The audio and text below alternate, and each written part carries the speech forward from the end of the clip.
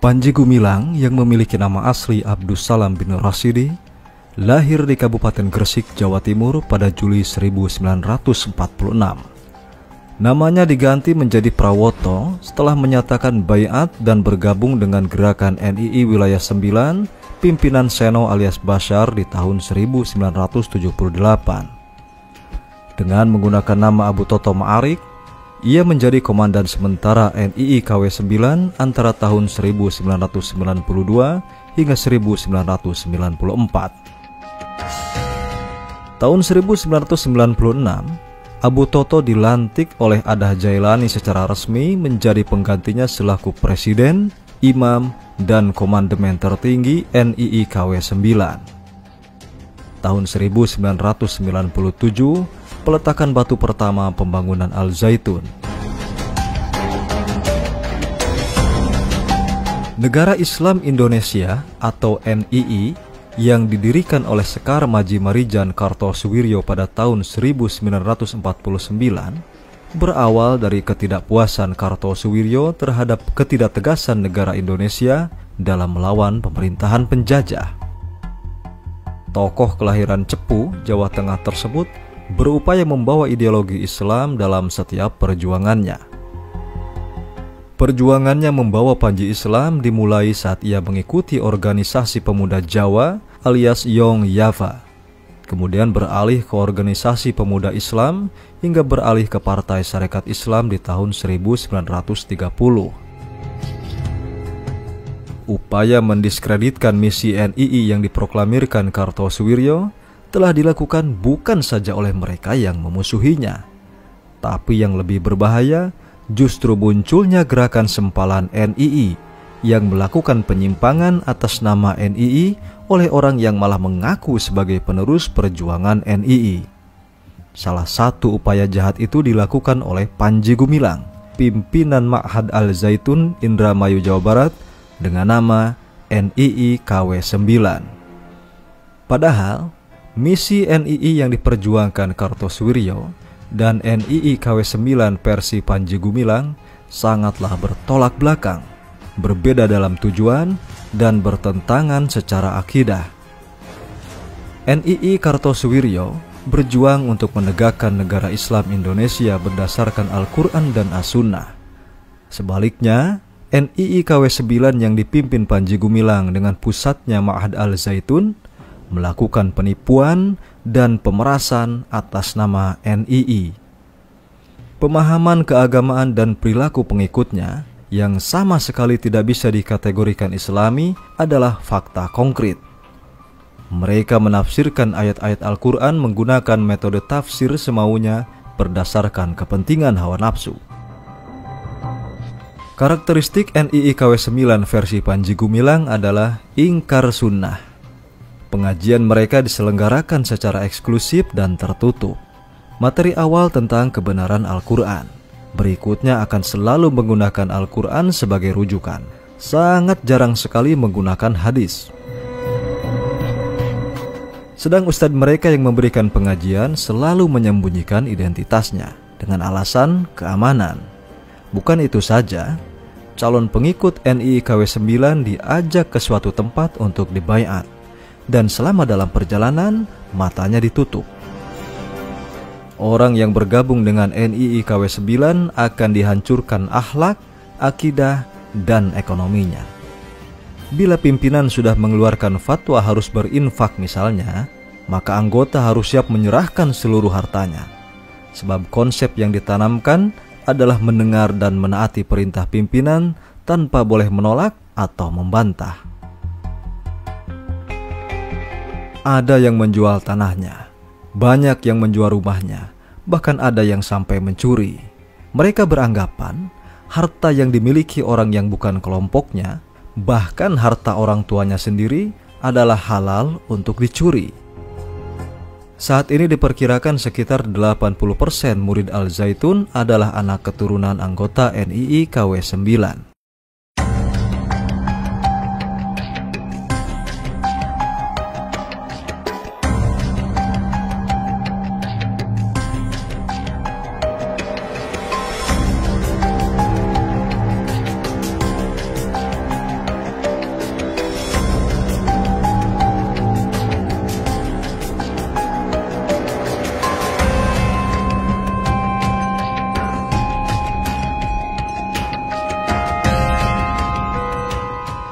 Pesantren Al Zaitun saat ini tengah menjadi sorotan karena banyak penyimpangan yang dilakukan di dalamnya.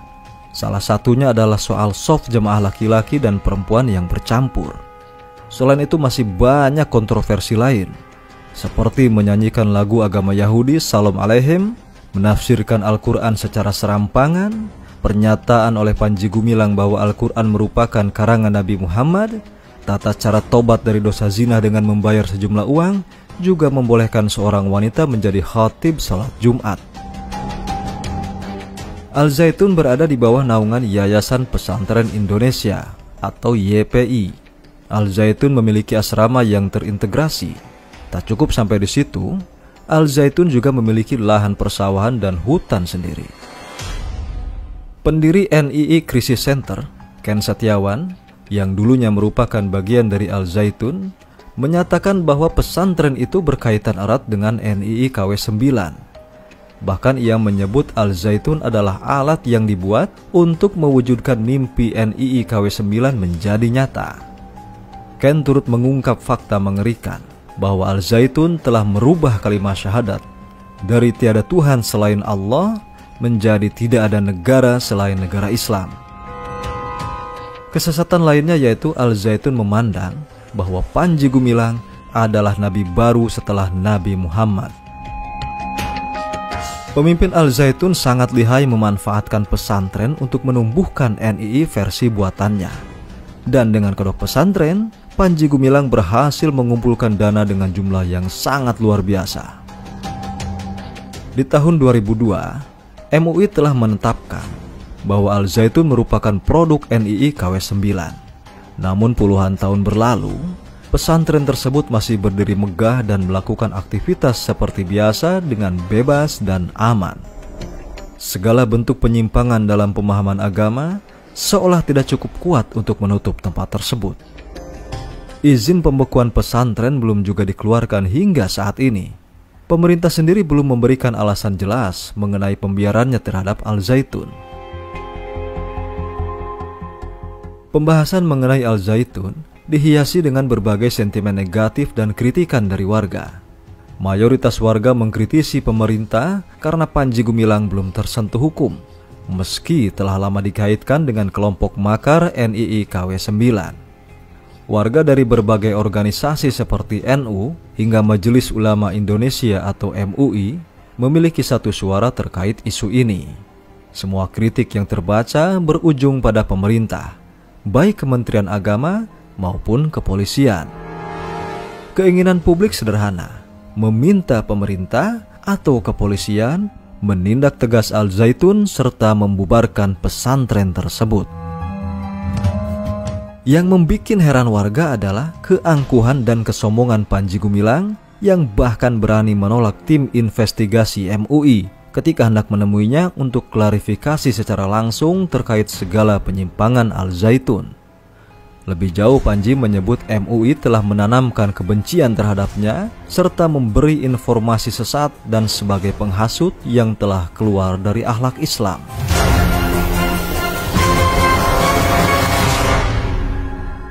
Apa dan siapa yang telah menjadikan Panji Gumilang gembong Al Zaitun NII KW9 hingga bisa begitu berani menantang pemerintah dan Majelis Ulama Indonesia? Sepak terjang Panji Gumilang dan Al Zaitunnya telah nyata-nyata mengindikasikan penistaan agama Islam. Ajaran menyimpang Al-Zaitun yang telah terungkap menggiring para pengikutnya untuk meragukan, menjauh, bahkan bisa mencela akidah dan ibadah agama Islam. Salah satu contohnya adalah pendeta Kristen penista agama Islam yang kini bersembunyi di Amerika Serikat, yaitu pendeta Saipuddin Ibrahim. Saipuddin sebelum dia murtad, pernah menjadi guru di pesantren Al Zaitun pada 1999. Dia juga menjadi kepala humas di sana. Secara terbuka, Murtadin yang sangat membenci Islam ini mengakui bahwa Al Zaitun itu baik, banyak keunggulannya, dan Panji Gumilang adalah sosok yang sangat paham syariat Islam. Dan pendeta ini belak-belakan menyatakan bahwa Panji Gumilang adalah nabi bagi Al Zaitun. Dan Panji Gumilang itu adalah orang yang pemahamannya Islam dalam sekali dan dia sangat mengerti uh, Al-Quran, hadis, dan pelaksanaan dari syariat Islam sendiri, beliau sangat mumpuni. Kalau kiai-kiai di ini suruh debat dengan Panji Gumilang, ya kalahlah. Nggak akan sampai.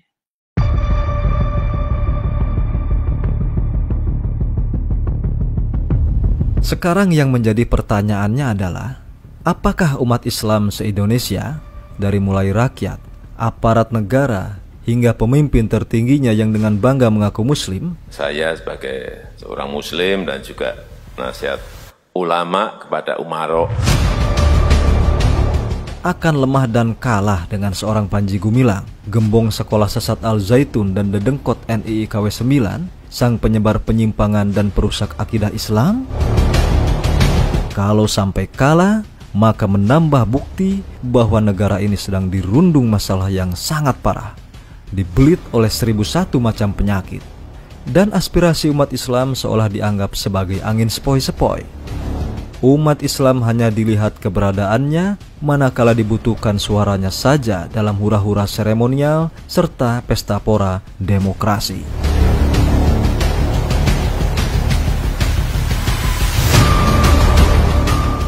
Kita hanya yang terlalu lemah ngadepin dia. Maka itu dalam hal itu serang, ya, saya ingin orang-orang yang mendukung Azaitun, terutama Hendro Priyono, kepala BIN, harus diperiksa.